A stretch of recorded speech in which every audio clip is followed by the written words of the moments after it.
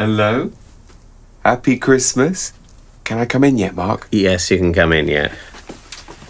There, um, there wasn't anything at the end of my bed when I woke up. It's in here. Oh, brilliant. And you saw?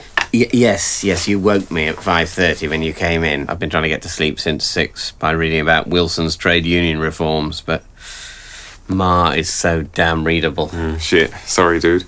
Ooh, slim but promising, Mark. Slim but promising. Jez, what, what do you... We're going to open them in bed, aren't we? What if our feet touch? If our feet touch, we fuck, obviously. Come on, dive in. Let the festivities begin. Wow. Oh, Jez, this is lovely. C- cognac.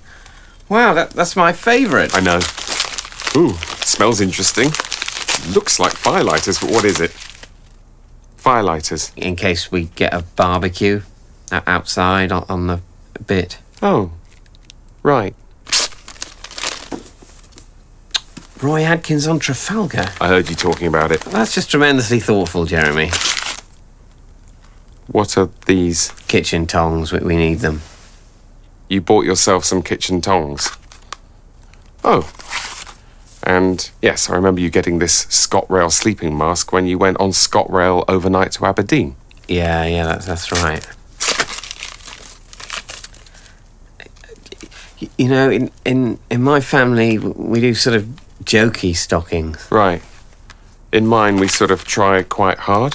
He's trying to strangle my Christmas with sellotape. I might save the rest. It's not fair. That's just aggressive generosity designed to make me feel bad. Sorry, it's just this is my first Christmas without Mum, because Because she's sailing around the Med with Mr. Potato Head. Yes, I know, Jez.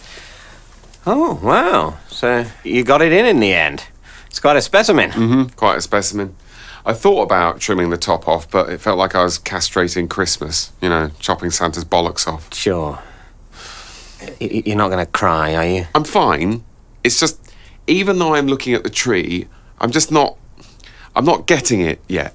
Horny. Christmassy, Mark. I'm not getting the Christmassy feeling. Let's crank up Classic FM. Let's get our Christmas on. Now, Sarah, if I scrape together the shortbread from Aberdeen 09 and this unread Super Freakonomics, which I can pretend I thought she'd like, even though I'm pretty sure she'll hate it, then that's an acceptable bundle, isn't it? Nice to have your family here for Christmas. Well, not really. But the point is, I'm in charge. I've launched the Christmas putsch. I carve the turkey, I decide what veg we have. No cauliflower. No one else has it. It's not a tradition. Christmas is coming home. Ding dong merrily on Mark. Exactly. Right, we need to get the oven on for lunch at one. Yeah, right. Lunch is at three. You do presents first and then. No, Jez. Presents after. Then charades, then the lull, the low countries, then the row, the cold cuts, then bang, into a blockbuster to see you home. But that's not my Christmas because. Oh, that's what we're doing. Don't let him spoil it. Don't let him rile me.